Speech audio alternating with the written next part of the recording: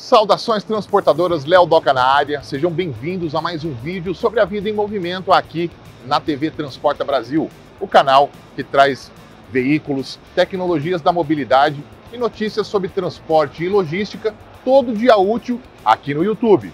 E você que transporta o Brasil de verdade, já começa o vídeo trazendo aquele like que ajuda muito o nosso trabalho.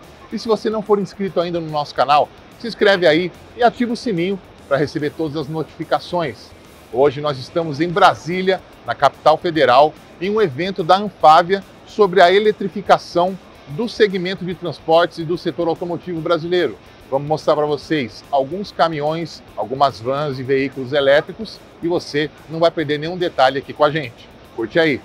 Além de diversos debates e palestras com representantes da indústria, do governo e de especialistas em mobilidade eletrificada, o evento marcou a exposição de 40 veículos elétricos ou híbridos em um salão de exibições, todos eles disponíveis no mercado brasileiro. É fato que apenas três modelos foram efetivamente projetados e fabricados no Brasil, e o restante é representado por veículos importados. Mas mesmo assim, o evento foi um marco histórico para o movimento da eletrificação. Iveco, Stellantis, Ford, Scania, Mercedes-Benz, Volkswagen Caminhões e Ônibus e Volvo exibiram veículos de carga e de passageiros no evento. O E-Delivery, caminhão de 14 toneladas da Volkswagen Caminhões e Ônibus, estava lá e representou o Brasil, sendo um dos poucos realmente feitos por aqui. Esse caminhão 100% elétrico movido a baterias com 150 km de autonomia já roda no transporte brasileiro há alguns anos, principalmente no transporte e na distribuição de bebidas. A Mercedes-Benz levou o seu chassi de ônibus movido a bateria, também feito no Brasil, o EO500U, que em breve vai ganhar as ruas de nossas grandes cidades para transportar passageiros com zero emissão e zero ruído. A Stellantis levou seus comerciais, os furgões elétricos E-Jampi, da Citroën, E-Expert, da Peugeot e o E-Escudo, da Fiat, todos da mesma plataforma e muito versáteis para o transporte urbano de cargas, com vans movidas a bateria. Na mesma categoria, mas com mais tecnologia embarcada e maior capacidade de carga, o furgão e-Transit da Ford também estava exposto no evento. Assim como a chassi cabine e-Daily da Iveco, que em breve estará no Brasil como parte da estratégia Brasil Natural Power da marca, também movida a baterias 100% elétrica. Nós estamos numa feira de, de eletricidade, né? então a gente trouxe aqui o nosso veículo elétrico. Mas a Iveco ela não acredita em apenas um único caminho para a sustentabilidade do, do, do, nosso mercado. A gente entende que isso passa por outros caminhos também.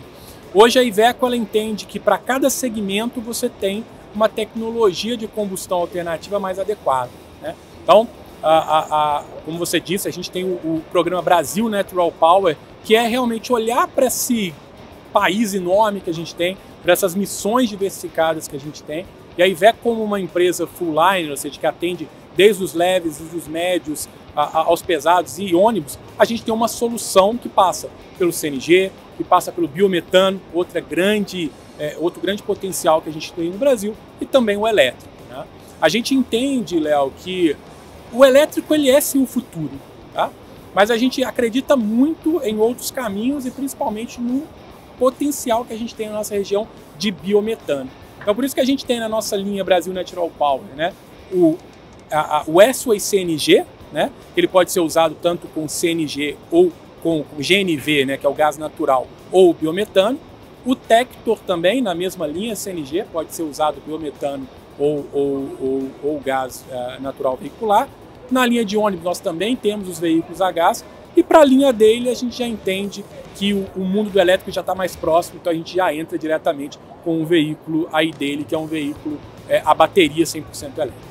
Entre os caminhões estiveram no evento os suecos P25, veículo de chassi rígido da Scania, que atualmente roda no ABC Paulista, em testes feitos na própria logística da empresa, totalmente movido a baterias e com configuração de eixo 6x2.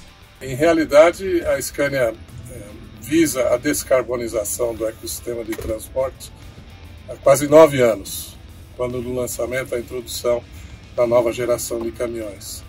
Desde aquele momento ficou é, marcado como um, milestone que iríamos buscar todas as alternativas para descarbonizar o ecossistema de transporte. Dito isso, uma série de desenvolvimentos aconteceram e hoje, como você bem colocou, existe uma gama de alternativas é, que otimizam as diferentes aplicações e operações individuais, que permitem então ganho de eficiência energética, o uso da digitalização e aí também a substituição dos combustíveis fósseis com combustíveis renováveis e a eletrificação aonde ela fizer sentido. Nós sabemos, Léo, que a motivação, a decisão de compra de um veículo comercial pesado reside no, no custo total de operação, e de propriedade e operação. E existem algumas aplicações onde melhor se aplicará o biometano. Outra aplicação onde o biodiesel ou ainda o HVO se mostrem mais competitivos. A exemplo do, deste veículo exemplar aqui, um veículo com capacidade para 26 toneladas de peso bruto total, com uma autonomia aí de 290 a 300 quilômetros, que pode perfeitamente é, ser viável numa operação de distribuição regional.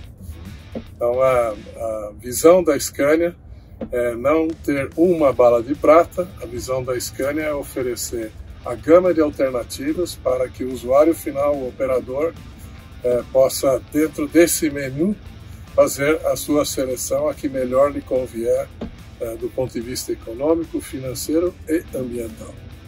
E o Volvo FM, um cavalo mecânico de 44 toneladas de PBT técnico, que também está em testes no Brasil, também movido a baterias, com 300 km de autonomia e um pack de 6 baterias, sendo provado nas operações de alguns clientes nacionais.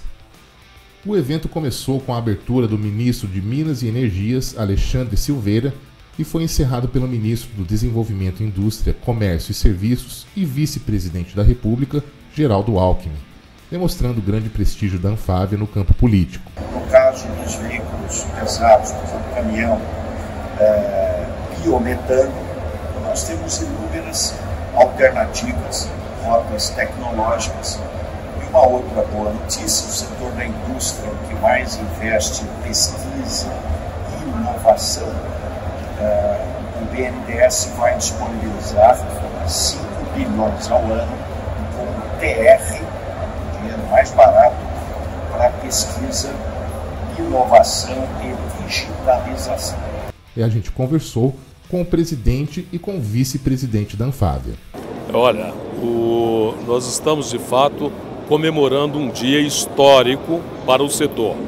É, no momento que nós trazemos para um evento desse as tecnologias disponíveis, tecnologias em desenvolvimento para a mobilidade e acelerar o processo de eletrificação no Brasil é de fato um motivo de muito orgulho e de muita alegria para todos nós. Hoje é um marco, né, porque nós estamos fazendo aqui um evento trazendo também mais uma tecnologia é, que todas as montadoras aqui instaladas e que fazem parte da Anfave, é importante lembrar, né? A Anfave é a Associação Nacional dos Fabricantes de Veículos. Isso significa que são todos os veículos automotores, né? sejam eles movidos a diesel, movido a, a biodiesel, HVO, gás, biometano, seja falar dos veículos a etanol, a gasolina e a eletrificação.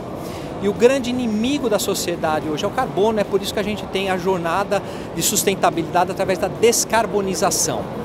Um país como o nosso, onde tem uma abundância de biocombustíveis, sempre foi muito natural se falar todos os biocombustíveis. Então foi importante no dia de hoje focar na eletrificação como mais uma ferramenta, mais uma tecnologia, tecnologia que a gente vê aqui agora, ela crescendo cada vez mais é, é, no mundo inteiro e não vai estar de fora o Brasil. Né? A gente conseguiu com esse evento também, além das discussões que estamos tendo com o poder público, com toda a sociedade, também expor os veículos, sejam eles que importados num primeiro momento, outros que já estão sendo fabricados aqui, porque é isso que é importante na jornada da sustentabilidade, a gente trazer soluções que são economicamente viáveis, soluções que atendem o apelo da sustentabilidade do meio ambiente, o mais importante, que é a questão social, né? o quanto que as montadoras e todo o ecossistema é, de fabricação desses veículos gera de emprego, de renda, de pesquisa e desenvolvimento que é tão importante para o nosso país. Essa ideia de trazer o evento para cá, né, é muito comum fazer o evento nas grandes capitais, fazer em São Paulo, mas o objetivo de trazer em Brasília foi inclusive para facilitar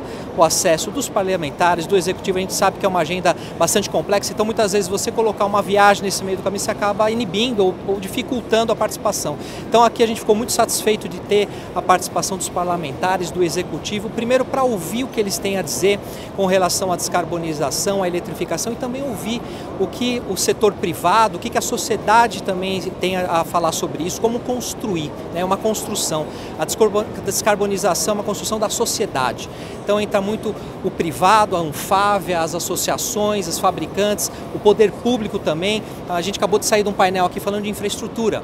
Claro que o privado quer investir né, na infraestrutura, aproveitar todos os seus recursos para isso, mas é fundamental ter o poder público atuante, ouvindo, coordenando, né, trazendo previsibilidade, gradualidade nessas políticas públicas para que a gente consiga investir ainda com mais força, com mais segurança e quem sabe até com valores maiores. É isso, eu espero que você tenha curtido o vídeo. Se curtiu, deixa aquele like, não esquece. E muito obrigado por ter assistido o vídeo até aqui. E para você ficar bem informado sobre os conteúdos do transporte e da logística, é só você seguir a gente aqui ó, nas redes sociais, no arroba Transporta Brasil no TikTok, no Facebook e também no Instagram. E para ficar ainda mais bem informado, é só entrar no nosso site todo dia aqui ó, no transportabrasil.com.br para ler o nosso noticiário.